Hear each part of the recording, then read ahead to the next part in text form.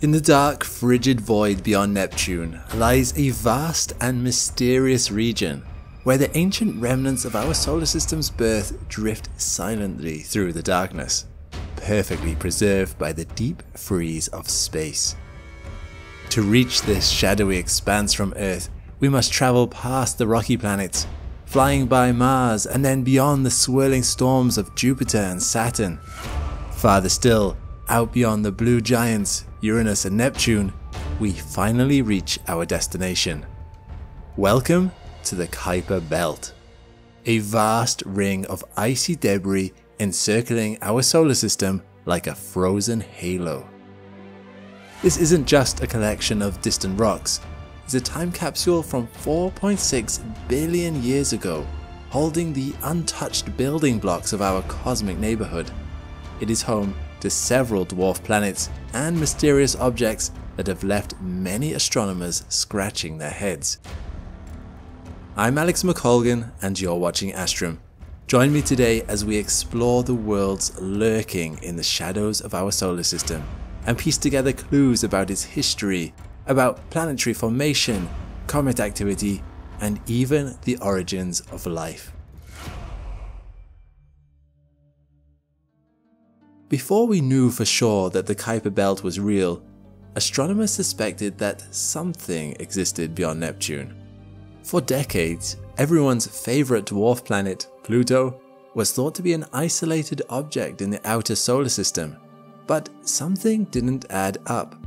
Its small size and unusual orbit suggested that Pluto wasn't alone, and that maybe it was merely one of a number of yet to be discovered distant objects in 1951, astronomer Gerard Kuiper predicted the existence of a belt of icy objects just beyond the orbit of Neptune, but without telescopes powerful enough to detect these objects, the idea remained theoretical for decades.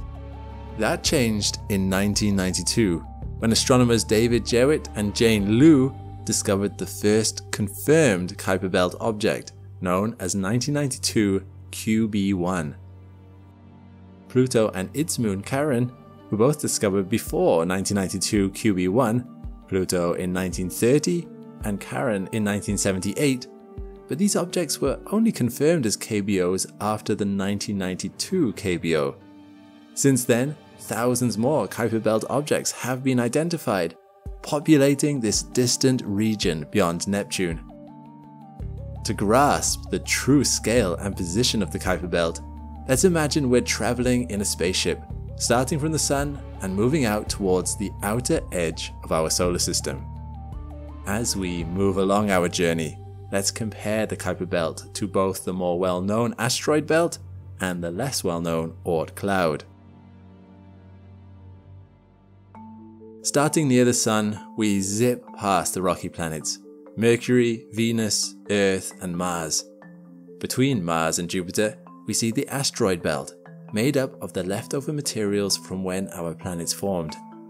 A thin, spread out ring of rocky debris, the asteroid belt is about 2.2 to 3.2 astronomical units away from the Sun and about 1 astronomical unit wide. As a reminder, 1 astronomical unit is equivalent to the distance from the Sun to the Earth. Most of the known asteroids reside in this part of our solar system, ranging in size from the largest asteroid, Vesta, at 525 kilometers wide, almost the distance from London to Belfast, to the smallest objects, some of which are just tens of kilometers across. However, despite residing in such a large space, the total mass of all of the asteroids in the whole asteroid belt combined is only about 3% of the mass of the Moon. Beyond the asteroid belt, we encounter the gas and ice giants, Jupiter, Saturn, Uranus, and Neptune, colossal worlds that dominate the outer solar system. Finally, as we pass Neptune's orbit at 30 astronomical units, we reach our destination, an even more remote, icy frontier, the Kuiper Belt.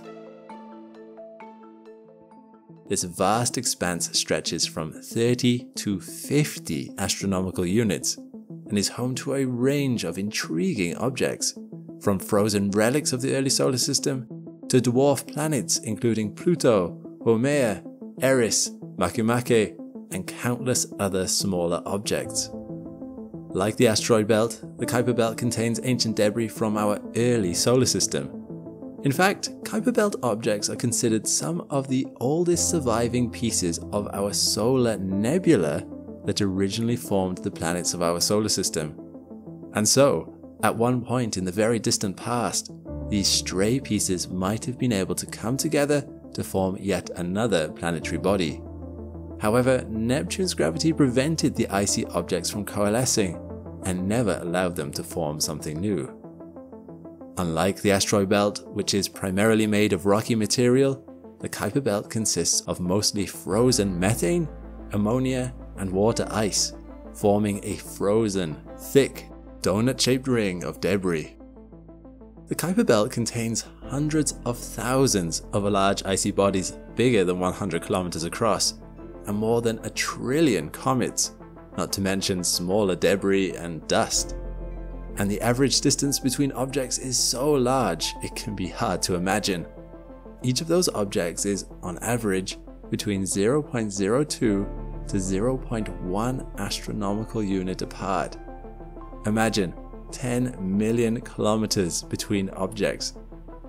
Here, in the dim outer reaches of our solar system, these icy bodies drift in near silence, preserving vital clues about the origins of planets and comets. But it doesn't end there. That was just the main region of the Kuiper Belt. Overlapping the outer edge of the main region is another area of Kuiper Belt called the Scattered Disk, which continues out to nearly 1,000 astronomical units, with some Kuiper Belt objects on orbits that reach even farther beyond that. So while the asteroid belt and Kuiper Belt share some similarities, as you can see, one is vastly more expansive than the other. And while we may have reached the end of the Kuiper Belt, there's still another massive structure that surrounds every other object and belt I've mentioned so far. In a recent video, I talked about the Oort cloud, the colossal structure of orbiting icy debris that encircles our entire solar system. It's so jaw-droppingly far away that even our most powerful telescopes can't catch a glimpse. So how do those two structures, the Oort cloud and the Kuiper belt, differ from each other? For one, the Kuiper belt is thousands of times closer to the sun than the center of the Oort cloud, which is theorized to stretch from 2,000 to 100,000 astronomical units. Another major difference is that the Kuiper belt is donut shaped, while the Oort cloud is spherical, like a gigantic bubble of swarming debris. But something these structures do have in common is that they are both sources of the celestial phenomenon that we know as comets. The Oort cloud is the source of many long period comets, while the Kuiper belt is where some short period comets are born. While the Kuiper belt today is one of the most massive structures in the solar system, it's just a small fraction of what it once was. Originally, altogether, it probably contained 7 to 10 times the mass of Earth, but the shifting orbits of the four giant gas and ice planets caused most of that to be lost to space. What remains is no more than about 10% of Earth's mass. Not only that, but the Kuiper Belt today continues to slowly erode away. As objects occasionally collide and break apart, smaller fragments are left in their wake, and some of the resulting dust is blown out of the solar system by the solar wind. Sometimes these collisions, or Neptune's gravity, will cause Kuiper Belt objects to head on a new path towards the Sun, creating short period comets which have orbits of less than 200 years. Over time, the Sun's radiation causes comets to shed material producing the spectacular tails we see from Earth. Several famous comets originate from the Kuiper Belt or its scattered disk, including Halley's Comet with an average orbital period of 76 Earth years, or Comet Shoemaker-Levy 9, which broke apart and smashed into Jupiter in 1994 in the first ever observed collision of two solar system bodies. As we all know, Jupiter survived, but the impact was visible from Earth and was quite a spectacular sight to behold. You can see it out for yourself if you check out my video on the aftermath of this collision. You may also have heard in the news recently about a near-Earth asteroid named 2024 YR4. While there is a very very small chance of this asteroid colliding with our moon, or even a smaller chance of it impacting Earth, the short period comets originating from the Kuiper Belt pose no immediate threat to us in the next hundred or more years. In other words, you don't need to worry about that. Despite the Kuiper Belt being just a small remnant of what it once was, it still offers a nearly endless frontier of objects for us to explore. And unlike the Oort cloud, which we have not been able to visit yet, we have been to the Kuiper Belt. While most of what we know about the Kuiper Belt comes from ground-based telescopes and the Hubble Space Telescope, NASA's New Horizons is the only spacecraft to have actually been there. It performed a flyby of the dwarf planet Pluto and Kuiper Belt Object 2014 MU69, which was later officially named Arrokoth, meaning sky in the Native American Powhatan or Algonquian language. This flyby of Arrokoth in 2019 was the most distant flyby in the history of space exploration taking place 1.5 billion kilometers beyond Pluto, with the New Horizons spacecraft getting as close as about 3,500 kilometers above the surface of the object. And even among the swarm of mysterious objects that make up the Kuiper Belt, Arrokoth still managed to surprise the New Horizons team. Its strange shape was unlike anything we had ever seen in our solar system. Arrokoth is a small icy KBO known as a contact binary, composed of two distinct lobes that at some point merged into one body, its shape resembles a flattened snowman. At just 35 kilometers long, 20 kilometers wide, and 10 kilometers thick, you might not think there's much to learn from this relatively tiny object. But what Arrokoth lacked in atmosphere and diverse geology, it made up for in its unique structure. The bizarre pancake snowman shape of this Kuiper Belt object provides crucial insights into how planetary building blocks came together in the early solar system and how planets may have formed. Arrokoth's shape seemed to give it a counterintuitive gravity field and rotation, and several papers published since the flyby have led to an almost undeniable truth about how planetesimals form, something the New Horizons team didn't expect. Planetesimals form when smaller objects come together to make larger bodies, which may eventually combine to create a planet. Until now, there have been two competing theories. Hierarchical accretion, which proposed that small objects would crash into each other at high speeds until they created something bigger, and local cloud collapse, where nearby objects would slowly come together because of their gravitational attraction, thereby forming larger and larger bodies.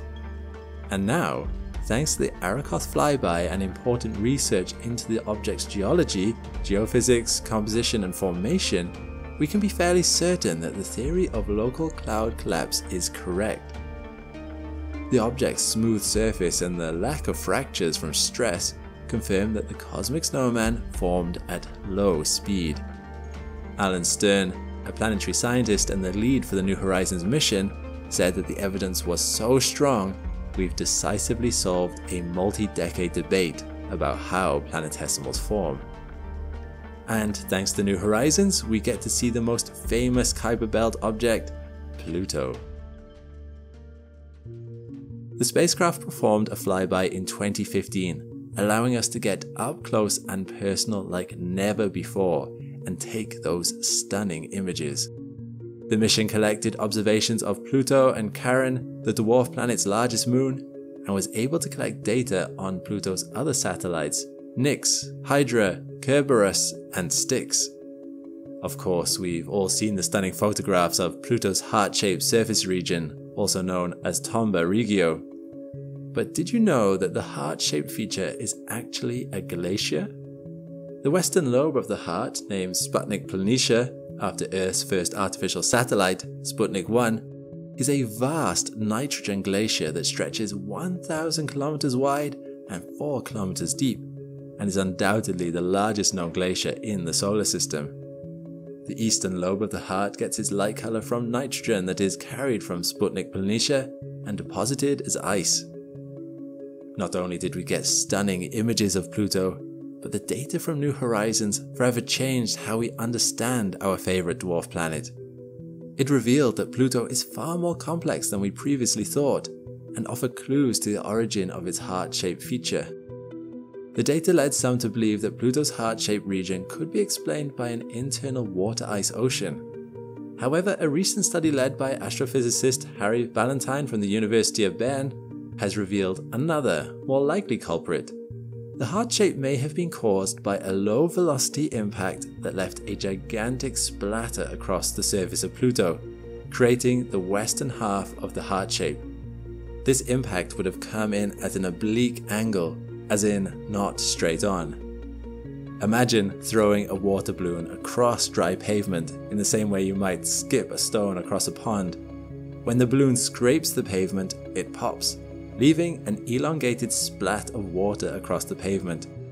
This kind of angled, low velocity impact is similar to how the western lobe of Pluto's heart feature may have been created. But it's not just Pluto that we get to see up close the images of Pluto's moon Charon were also incredible. Can you make out the enormous equatorial tectonic belt? Its existence suggests a long gone water ice ocean on Charon. So, what comes next in our quest to understand the Kuiper Belt and, consequently, to understand our solar system? New Horizons is expected to exit the Kuiper Belt sometime between 2028 and 2029.